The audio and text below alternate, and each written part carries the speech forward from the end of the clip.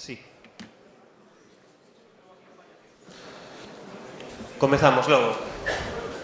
Bueno, eh, primeiro de nada, presentarme, eu son mestre de primaria, independentemente de que por circunstancias da vida acabara traballando no que estou, cos compañeros no que estou e demais, eu non son informático, onde está Félix tal. son mestre de primaria, pero iso, acabei un poquinho especializado nestes temas agora.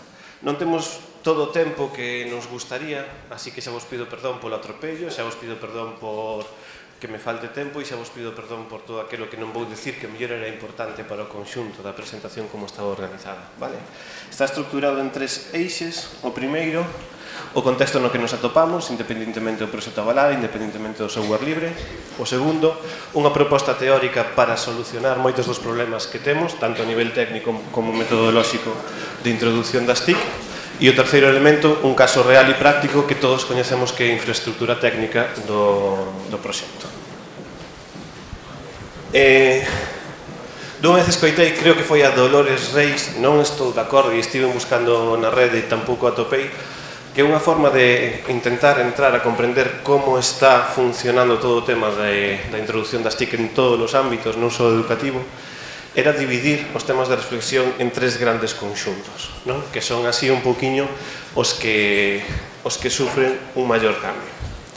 Digamos que é a primeira vez na historia da humanidade que en vida non somos capaces de mirar 15, 20 anos atrás e decir estamos nunha era diferente, xa non vivimos na sociedade industrial, agora vivimos na sociedade da información e na sociedade do coñecemento. Así que hai moitas cousas que nos temos como asumidas que xa non son válidas. Para empezar, un conxunto complexo, difícil, que ainda non penso que ainda non temos abordado, que é o tema sobre a privacidade, que é a nosa identidade digital, como manifestamos nós o que somos ou que queremos ser ou como nos ven na rede. Aquí hai moita potencialidade, tamén hai riscos. Non sabemos como lle vai afectar aos nosos alumnos todo aquilo que están publicando na rede sin conciencia de que iso vai quedar ali e que vai ser imposible eliminalo. Complexo. Un gran segundo debate e é que existe unha industria cultural na que se inclúe tanto a distribución e uso de contidos educativos nas aulas que está baseada no soporte físico, nace coa imprenta e se desenvolve ata, ata hai moi pouco E esa industria cultural está en crise, sigue existindo industria cultural, pero o único que conserva da industria cultural o de antes é o nome e os coletazos que poidan ir quedando, así que absolutamente necesario reflexionar sobre propiedade intelectual e coñecemento aberto e por último o que sería capacitación TIC. Esas ferramentas que nos utilizamos para interaccionar co mundo social, cales son? porque non son independientes dos debates anteriores. Entón, que ocorre? Ante a perplexidade na que nos atopamos, directamente é posible que nos lancemos a intentar saber manexar ferramentas non? sin un debate previo con unha consecuencia, debates contradictorios continuamente. Eu cando estudiaba magisterio e os profesores no libro que che daban nos decían unha cousa e pola contra nos estaban ensinando outra contraria, a mí non me entraba na cabeza. Recordo unha discusión cunha compañeira en terceiro de primaria onde dicía eu non teño vocación porque porque non comprendía como profesionais que me estaban dicindo algo estaban facendo outra cousa, tampouco identificaba esa contradicción, eh? pero dicía, non me chama porque non o vexo. Sin embargo, cando logo continuei os meus estudios e demais e topei realmente cos profesores que, que eu necesitaba, si vin. Vin a importancia de ter principios en educación, atención á diversidade, individualización, personalización e demais. E cada vez que recibamos un discurso, un debate e demais, avalialo en base a eses principios. Porque se non o facemos, podemos atoparnos moitas veces invertindo esforzo, invertindo tempo, invertindo recursos e transferindo todas esas necesidades pero en base a unha estrategia que moi probablemente poida chegar a caducar.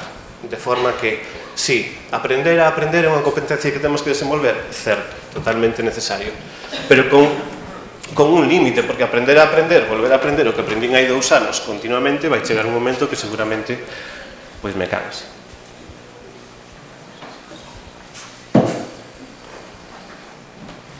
Así que, partindo de, do que sería a normativa SCORM, que nace no Ministerio de Defensa, e nace para que os contidos educativos que tiñan que chegar os soldados chegasen de un xeito rápido, áxil, a moitos lugares diferentes, pois eu un poquinho gustame organizar os meus principios tecnolóxicos en base a estes catro que forman parte do que sería a normativa SCORM. O primeiro e o cuarto son básicos e son comuns, a accesibilidade e a interoperabilidade, garra relación tamén coas especificacións técnicas que poden ter os recursos educativos, non podo entrar agora aí. Voume centrar nos dous do, do medio, adaptabilidade e durabilidade, que teñen relación directa co coñecemento libre e coas fontes abertas. É necesario que teñamos recursos técnicos, falo de contidos digitais e falo de plataformas e de aplicacións de usuario, que teñan a posibilidade práctica de ser modificadas, que significa que temos que ter acceso a ese código para que nós ou empresas que poidamos contratar ou un veciño ou demais poida, por un lado, analizalo, ver que non ten nada que non nos convén e, por outro lado, propoñer mellores. Ademais, isto ten que estar complementado non? cunha reconcepción da propiedade intelectual e o que sería a filosofía Copyleft, que nace con Richard Stallman no movimento do software libre e que continúa evolucionando e agora mesmo sabemos nas licencias de tipo creativo como os Creative Commons ou outras moitas que, que existen por aí. Logo, o segundo principio que me gustaría resaltar nesta presentación é o de durabilidade e ten relación co que falábamos antes de si nos decidimos por ferramentas sin reflexión moi probablemente todo iso, toda esa estrategia non sexa durable.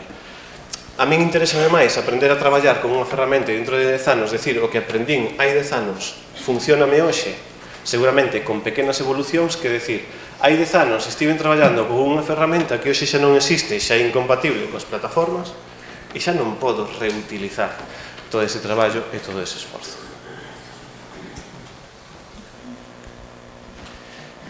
Moito tempo para aquí tampouco vou ter, simplemente comentar que a filosofía Copyleft o que pretende é complementar a legislación actual que hai alrededor do copyright. Como sabedes, cando un crea unha obra creativa adquire dereitos morais, pero tamén adquire dereitos de, eh, de explotación económica de xeito totalmente automático e exclusivo é o dereito de explotación, de distribución, de comunicación pública e de transformación, e a lei de propiedade intelectual está desenvolta así para proteger inicialmente os creadores, pero co paso do tempo foi prestando servicio especialmente á industria cultural, esa que comentamos que xa non existe como tal, de forma que totalmente necesario facer unha reflexión sobre isto.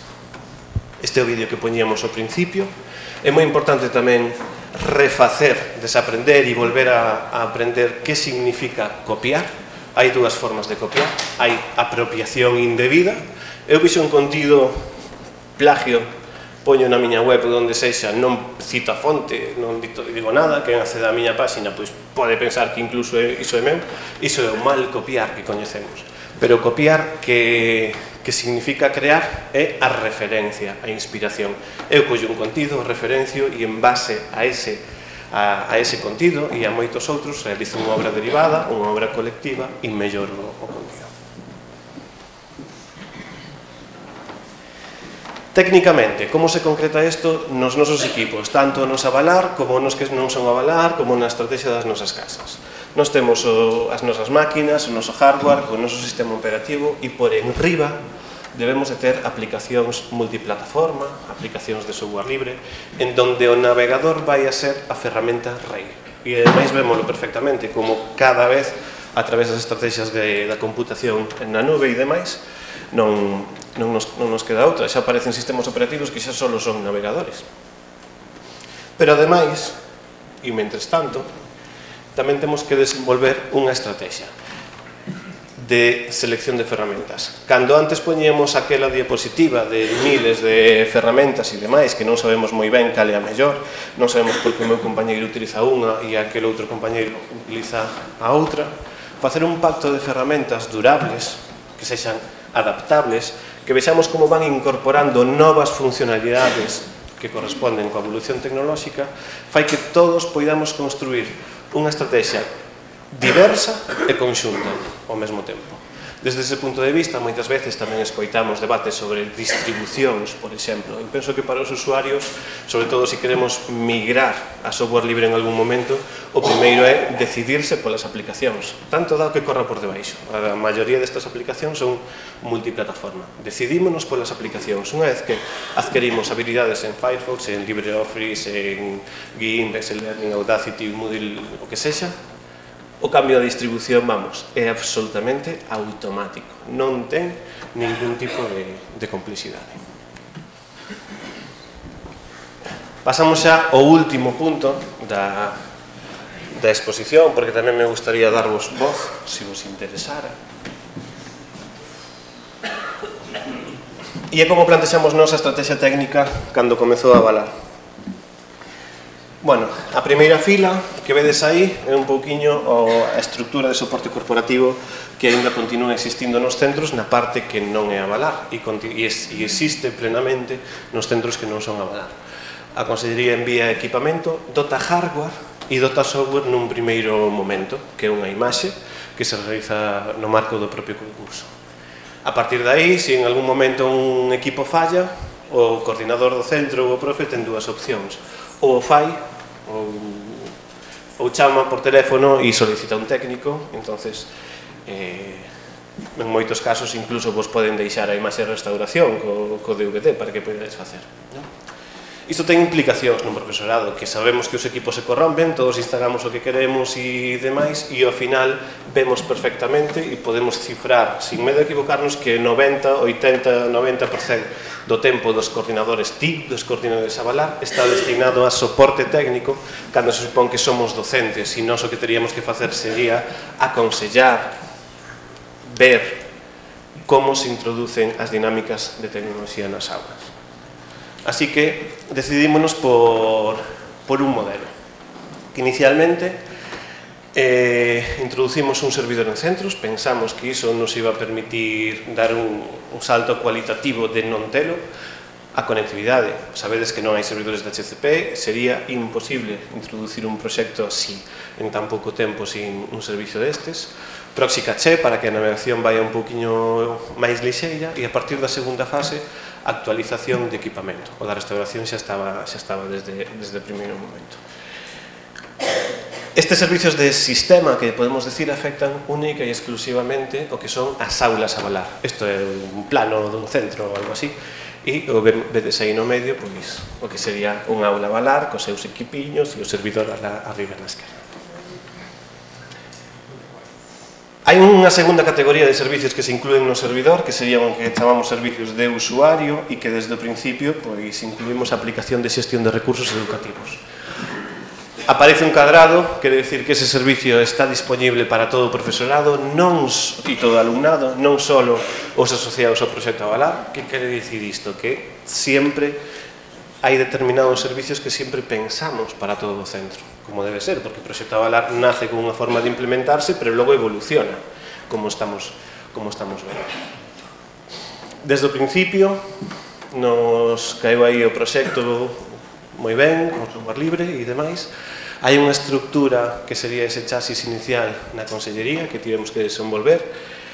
É un proxecto que se marca por unha especificación clara que é a utilización de wifi. O entorno é excesivamente hostil, é dicir, 25 ou 30 equipos nun mesmo espacio conectados a un único punto. Técnicamente iso é vamos, traballando con software libre con hardware que acaba de sair do forno. Nos traballamos con hardware que moitas veces ao principio cando temos que desenvolver nin siquiera está nas tendas que se compra un modelo e por cambio en fábrica, pois ao final é que nos dan o último, ultimísimo, ultimísima moda. Vamos. Na primeira fase enviamos as maquetas con Ubuntu, é certo, capámolos, non había sistema de xestión de actualizacións. Hubo un cambio de modelo que introducimos na segunda fase, empezamos a xestionar todo de forma centralizada, pero a nosa obsesión sempre foi manter a conectividade cos equipos, o sea, centrarnos no que sería unha capa de chasis. Dentro das nosas posibilidades tiñamos que priorizar, e priorizamos iso, independentemente que originariamente o servidor do centro, cando estivo pensado, aquí está José Antonio e José Luís, que hoxe non puido ver, estaba pensado para dotar servicios, ao final vímonos que tiñamos antes que solucionar a capa da baixo. Foi evolucionando e agora na terceira fase xa temos 430 centros, unha rede de servidores distribuída, xestionada con un sistema de actualizacións automáticas e que distribúe as mesmas actualizacións o que siguen os equipos clientes.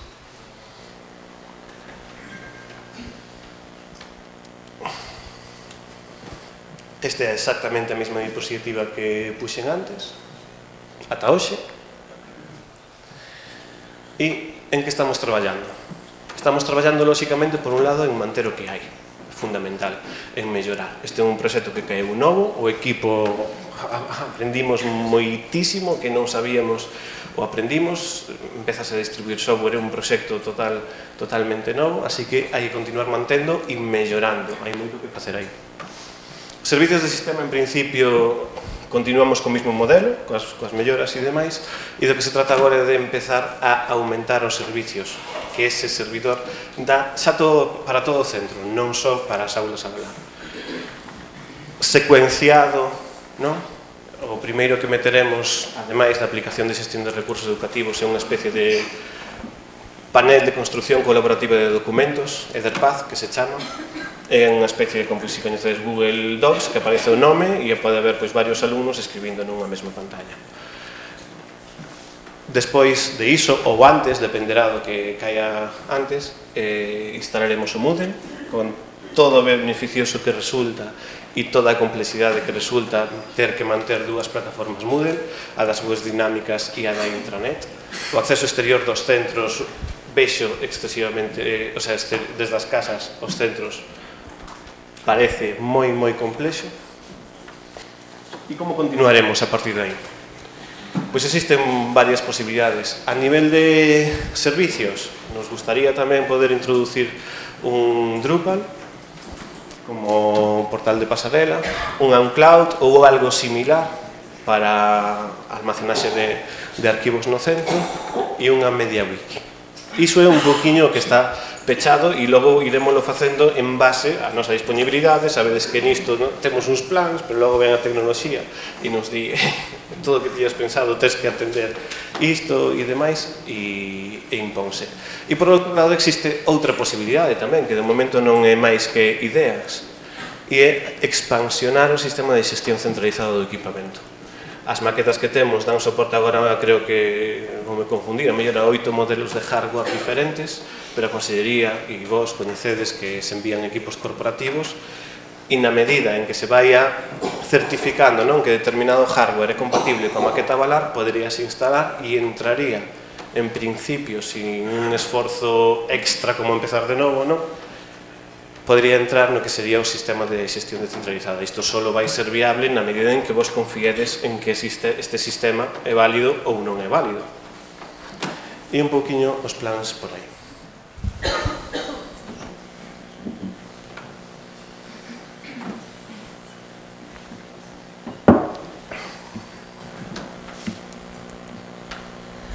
Quédame tres minutos, moi ben.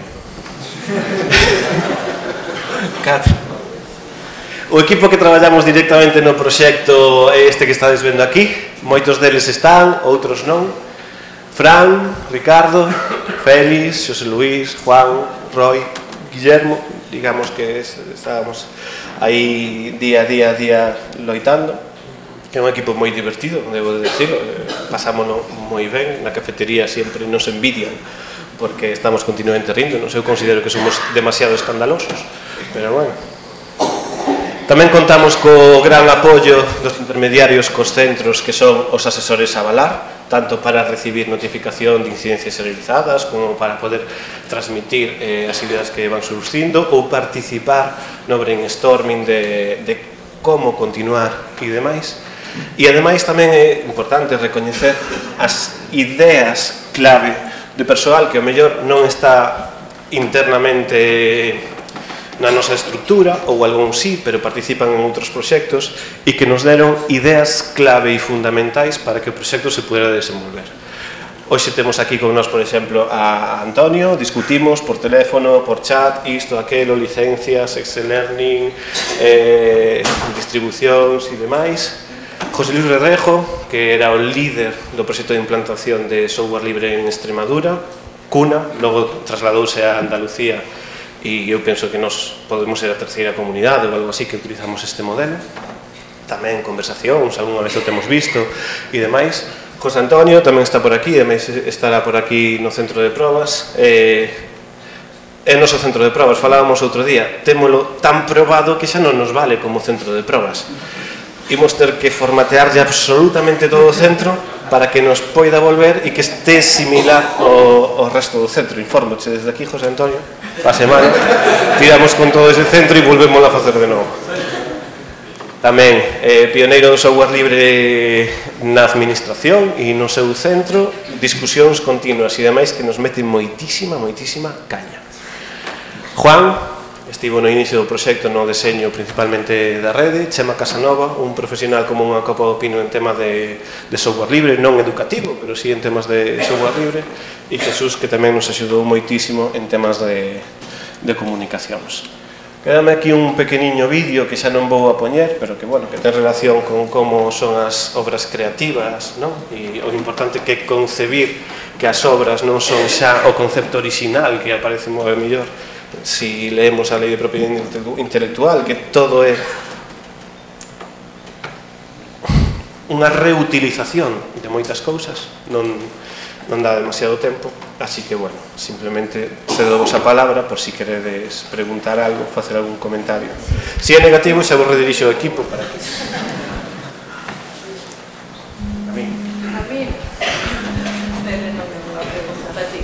Nada, quería moitas grazas por ofrecernos a posibilidade de preguntar que é o que botei en falta na sesión anterior.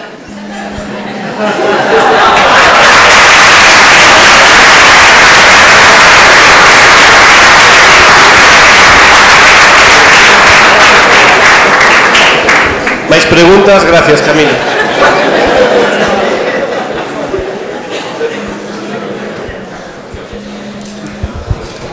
Bueno, gracias. Eh, tan só facerche unha pregunta en relativa en canto ao Moodle. Se este esquivalo implantar no servidor do centro, supoño que tendes previsto algo dunha sincronización co outro Moodle, co externo. Eh, ademais, outra cousa, xa de paso. Eh, non sei se tendes previsto actualizar as versións Drupal e Moodle, xa que sabedes que son vulnerables. Bueno, a segunda pregunta referiste a webs dinámicas, estáse traballando na actualización de Drupal, leva a Óscar, non o vin hoxe, eh, e de Moodle tamén se ten plantexado. Non se sabe ainda, creo que moi ben, se, se irá unha dous ou en principio a pretensión será un punto 9 e demais. Sí, é unha necesidade que sabemos necesaria e estáse traballando, traballando nela. Na parte do servidor de centro, eh, do Moodle é imposible sincronizalo Quer dizer, as ADSL xa non, non o permiten. Como o faz, cando o faz? Pensamos, eh? e reunimos nos e vimos posibilidades imposible. Ademais que eh, consideramos este Moodle no centro ou aplicacións que puideran estar en servicios centrais como un mal menor. Entre tanto, as ADSLs non melloran. Entonces, moitas das cousas que podíamos facer para mellorar o servicio da intranet xa non van ter sentido cando as ADSLs funcionen como, como é debido e digan, pois, a ao mellor hai que ter cuidado, non? Co esforzo que invertimos aí, porque se si dentro de 4 ou 5 anos xa non é necesario, pois, en todo caso sería moi, moi, moi, moi, moi difícil sincronizar. Non, non, non se vai facer.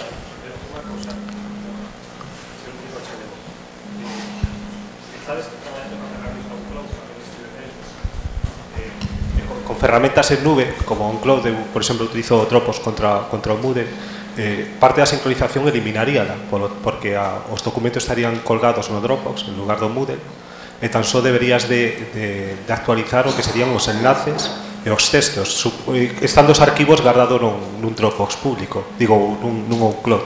E supoño que así sería moitísimo máis sinxelo de, de actualizar, porque os cantidad de datos limitaríase a pequenos arquivos de texto, de cabeceiras e de enlaces, polo que creo que sería moito máis máis viable nese caso digo, senón plantese vos a, a posible opción, vale, de, de tentalo de os documentos guardalo, eu, por exemplo, fago contra, xa vos digo, contra un Dropbox ou contra unha ferramenta similar, eh, esa ferramenta é dun servidor independiente, polo tanto, tanto dende a casa como dende o centro, vai vos ir moito mellor. Paso debería desde sincronizar o que digo, os, os enlaces, que creo que sería así un pouco máis viable. Eh. Son dúas variables as que hai que ter en conta para comprender a dificultade Eh, unha, cando falamos da Encloud, falamos da Encloud en intranet. A velocidade de conexión define a electrónica de rede. Falamos de 1000 megas por segundo. Si nos situamos os, ser, os servidores ficheiros ou que sexen servicios centrais e vos traballades nos centros contra unha plataforma na intranet, a sincronización utiliza DSL. Estamos falando de descarga desde 2 a 100 e de subida, pois imagínate o que supón o 5% ese Ademais, segundo elemento de dificultade, non é o mismo o que eu como profe poida facer cando son o único no centro, a SL para min, que as estrategias que morren de éxito cando as pensamos para, para todo un centro educativo. Non? entonces esas son as grandes dificultades. Vale. Eh, Si tendes máis preguntas, podedes facerlas en unha parte, que estou seguro de que estará encantado de responderos a, a todos. Gracias. Gracias.